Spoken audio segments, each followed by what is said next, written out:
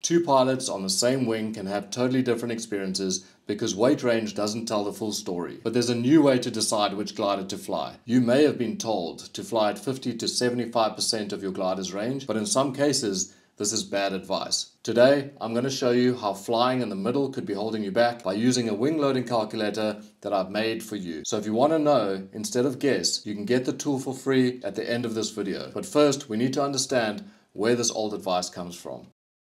Certification measures how our wings respond to deflations with so-called passive safety. It tells us how the wing recovers in calm, controlled testing, but nothing about how it handles, how it feels in turbulence, or how it penetrates into wind. Two physical factors generally drive this certification. Aspect ratio determines the wing's complexity. Low aspect ratio wings are chunky. The tips are close to the pilot, making the glider more of a cohesive structural unit. High aspect ratio wings have tips far from the center, making them more snaky due to less structural support. When they do collapse, the behavior is generally more complex. Wing loading determines the internal pressure and the energy of the wing. High aspect ratio wings are generally designed to be flown at higher wing loadings. This isn't just for speed. It's because of the physics. Higher loading increases dynamic pressure and helps the wing stay more pressurized and cohesive. A solid wing under high loading tends to be more resistant to collapses, but it can significantly increase the energy and the violence of the reaction if it does collapse. In contrast, lower energy wings tend to react slower and recover more gently, but they are inherently less collapse resistant due to that lower internal pressure. So what does this mean for you? If you have ever felt your wing is a bit mushy in the handling, or you feel pushed around, or maybe you have less pitch stability and struggle to get into strong thermals, that is exactly what we're talking about here. The trade-off between gentle recovery and authority over your wing.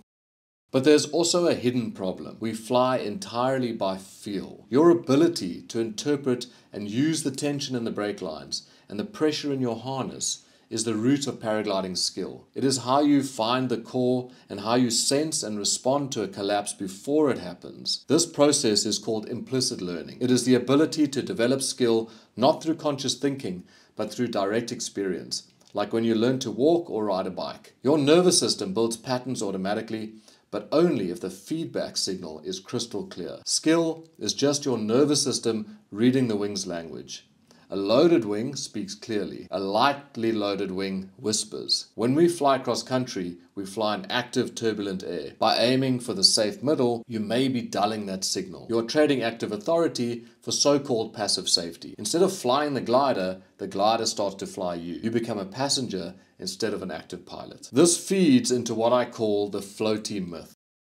Pilots are often terrified of being heavy. They blame their sinking out on this. They aren't technically wrong. Research from gliding birds to spacecraft design confirms that lower wing loading does improve your minimum sink rate. If your goal is to float in very light, dead calm, glassy air, then flying light is scientifically superior. But in the real world, the difference is often negligible. After putting on a little bit of size recently, I find myself flying my Skywalk Mint a few kilograms over the top of the weight range. Technically, this is not ideal and I'm not advocating for this, but I mention this to prove a point.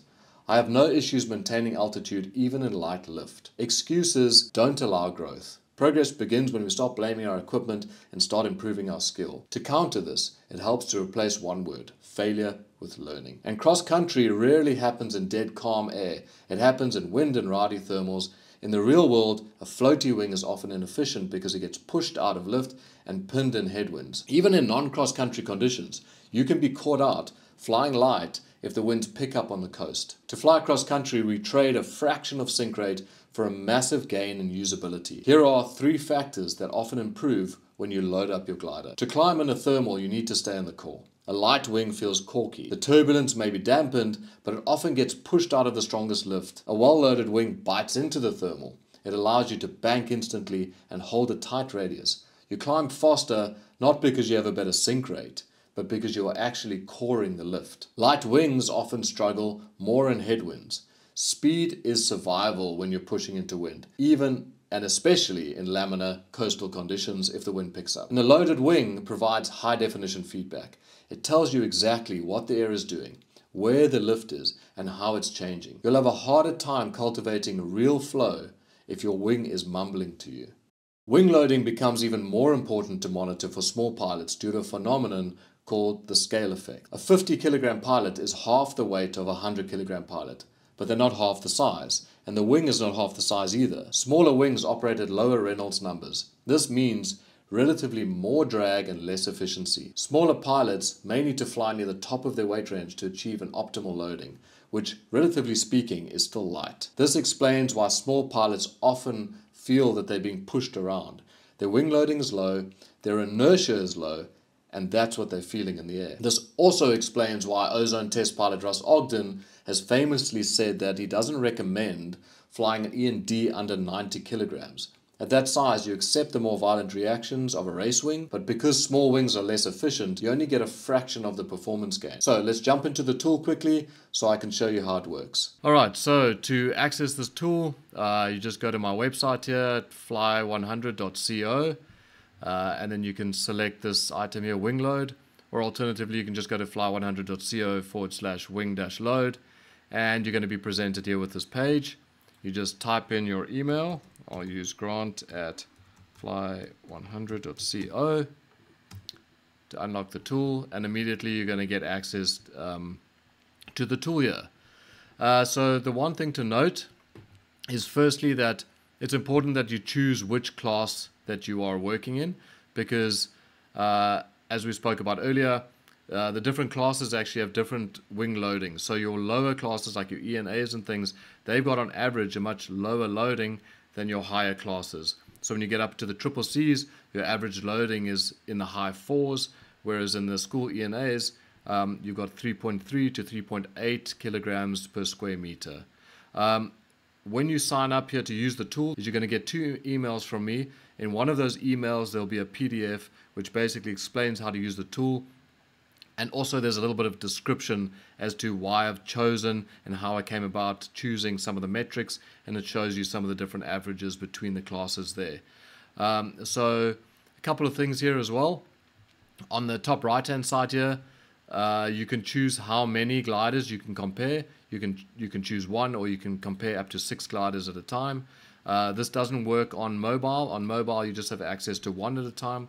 So if you want to do any comparisons for yourself, to choose your different glider sizes. Uh, you can come here. Um, most likely you'll choose one or uh, two or maybe three uh, for your own weight. Um, so let's say we're going to do that. Let's say we've got three different sizes. What you would do there is you would choose your, let's say, ENA glider, or let's say high B. Maybe that's what you want to choose. Uh, and then what you're going to do is you're going to select your, your wing size um, across these ones if you are doing this and you're comparing your own one, then obviously your, your weight, your all up weight is going to stay the same. So what you can do then is you can choose, let's say that you are flying at uh, uh, 90 kgs all up. Uh, you can use your arrows as well to incrementally change this. Uh, or you can also double click here to enter. Let's say it's 90 kgs, enter.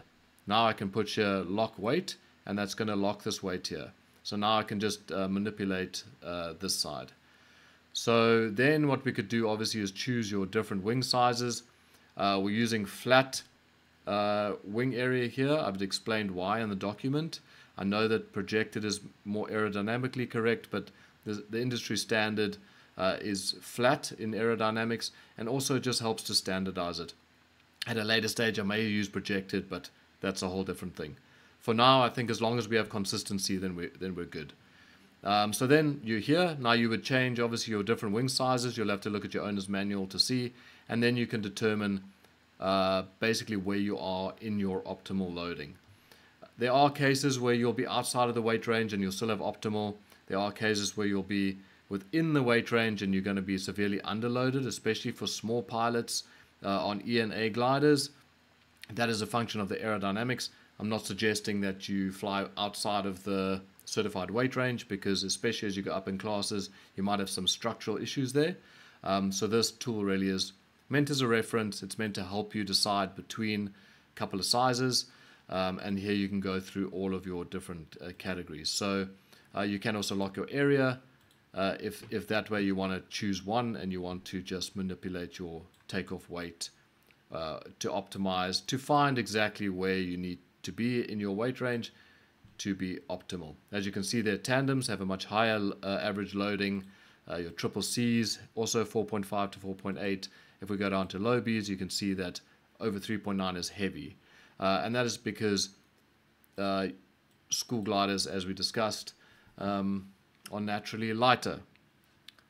So that is the tool. I hope you enjoy using it. Please let me know in the emails if you have any questions or comments.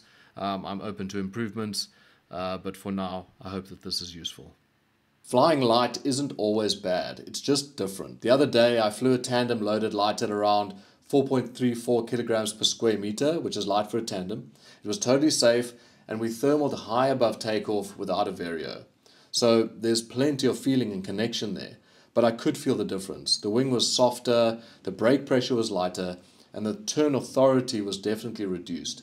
If this had been a small, tight core, I might have struggled to keep in banked enough to stay in it. The takeaway here then isn't that heavy is better. High wing loading has its own dangers. That's why school wings are lightly loaded, and why loading generally increases as you move up the classes. It's about choosing the appropriate level of authority for the kind of flying that you want to do. As you move up the classes, you need to take a more active approach, sharpening your skills rather than relying on passive safety. You need to understand exactly how your wing loading affects your feel, handling, and penetration into winds. Pilots in the middle aren't flying wrong, there's no one size fits all here, but many may be flying below what their wing is capable of, limiting the clarity of the feedback that builds skill, and reducing the authority when conditions get real. But none of this matters if you haven't mastered your active handling. To do this in the air, you need to train your nervous system to recognize and use that high definition signal on the ground. Because on the ground is where great pilots are made. To do that, watch this video next.